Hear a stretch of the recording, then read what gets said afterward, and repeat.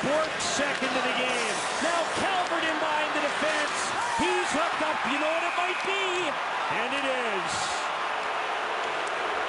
Calvert, the former captain of the Brandon Wheat Kings. A penalty shot trying to draw his team within a goal. Here comes the rookie. Stopped by Kiprusoff. Stayed right with him. And has gotten so much better. Talk about shootouts, but this is a lot different because you know how important this is going to be as far as momentum being changing.